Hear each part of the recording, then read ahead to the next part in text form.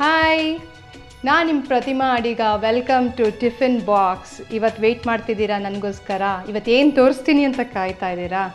ಹೌದು, ಇವತ್ತು ಸ್ಪೆಷಲ್ ಆಗಿರೋ ಅವಲಕ್ಕಿ ಹೇಳ್ಕೊಡ್ತಾ ಇದ್ದೀನಿ. ಎಲ್ಲರಿಗೂ ಗೊತ್ತಿರೋ ಅಂಥ ಅವಲಕ್ಕಿ ಆದರೂ ಸುಲಭದ ರೀತಿಯಲ್ಲಿ ಹೇಳ್ಕೊಡ್ತಾ ಇದ್ದೀನಿ.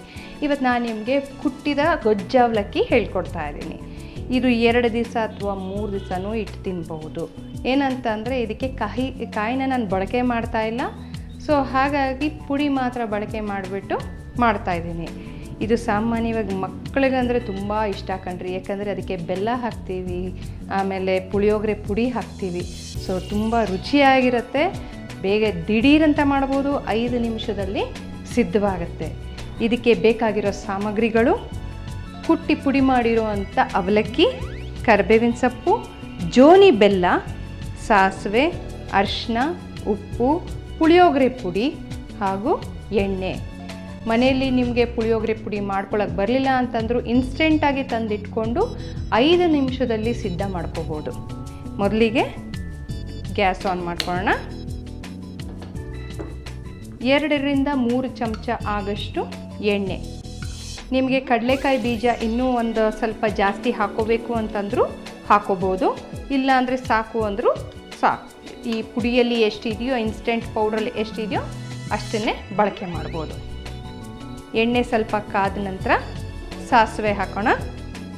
ವೀಕ್ಷಕರೇ, ದಿವಸ ನೀವು ಟಿಫಿನ್ ಬಾಕ್ಸ್ನ ಗಮನಿಸಿ ನೋಡ್ತೀರಾ ಅಂತ ಭಾವಿಸಿದ್ದೀನಿ. ಯಾಕಂದರೆ ನಾನಾ ರೀತಿ ವಿಭಿನ್ನವಾಗಿರುವಂಥ ತಿಂಡಿಗಳನ್ನ ನಾವು ತೋರಿಸ್ತಾ ಇದ್ದೀವಿ. ಇಲ್ಲಿ ಒಂದೇ ಥರ ತಿಂಡಿಗಳಂತೂ ಇರೋದಿಲ್ಲ. ದಿನ ಬೆಳಗಾದರೆ ನಿಮಗೆ ಏನಪ್ಪ ತಿಂಡಿ ಮಾಡೋದಂತ ಯೋಚಿಸ್ತಾ ಇರ್ತೀರಾ? ಟಕ್ ಅಂತ ದಿಢೀರಂತ ತಿಂಡಿ ಮಾಡಿ ಮಕ್ಕಳಿಗೆ, ಗಂಡಂಗೆ ಮೆಚ್ಚಬೇಕು ಅಂತಂದರೆ ನೀವು ಟಿಫಿನ್ ಬಾಕ್ಸ್ನ ವೀಕ್ಷಿಸಲೇಬೇಕು. ಈಗ ಸಾಸಿವೆ ಹಾಕ್ತಾ ಇದ್ದೀನಿ. ಕರಿಬೇವಿನ ಸೊಪ್ಪು.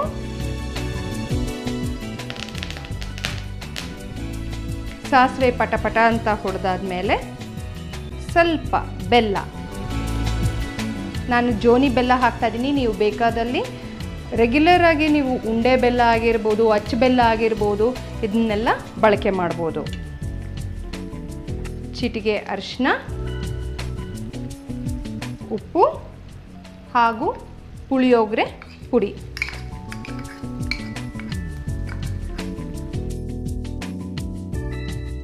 ಇದು ಇಷ್ಟನ್ನು ನಾವು ಕಲಿಸ್ಕೋಬೇಕು. ಕಲಿಸ್ಕೊಂಡು ಗ್ಯಾಸ್ ಆಫ್ ಮಾಡ್ಕೊಂಬಿಡ್ಬೇಕು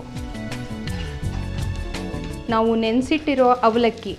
ಈಗ ಅವಲಕ್ಕಿ ಪುಡಿ ಮಾಡಿಕೊಂಡು ನೀರು ಹಾಕಿ ಒಂದು ಐದು ನಿಮಿಷ ಬಿಟ್ಟರೆ ಸಾಕು.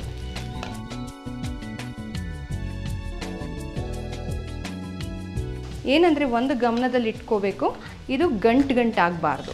ನಾವು ಬೆಲ್ಲ ಹಾಕಿದ ತಕ್ಷಣ ಕೈ ಆಡಿಸ್ತಾ ಇರಬೇಕು.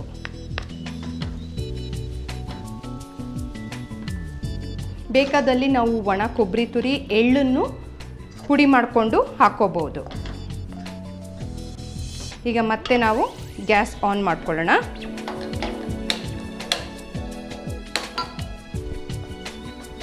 ಇದು ಒಂದು ಐದು ನಿಮಿಷ ಆಗೋಷ್ಟು ಚೆನ್ನಾಗಿ ಬಿಸಿ ಮಾಡ್ಕೋಬೇಕು.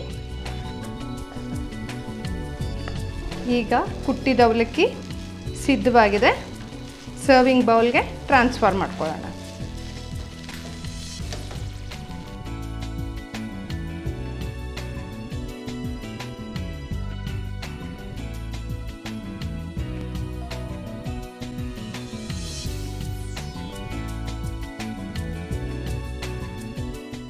ವೀಕ್ಷಕರೇ ಗೊಜ್ಜಾವಲಕ್ಕಿ ರೆಡಿಯಾಗಿದೆ. ನೀವು ಟ್ರೈ ಮಾಡ್ತೀರಾ ಅಂತ ಅಂದ್ಕೊಂಡಿದ್ದೀನಿ ಮುಂದಿನ ಸಂಚಿಕೆಯಲ್ಲಿ ಭೇಟಿಯಾಗೋಣ. ನಮಸ್ಕಾರ.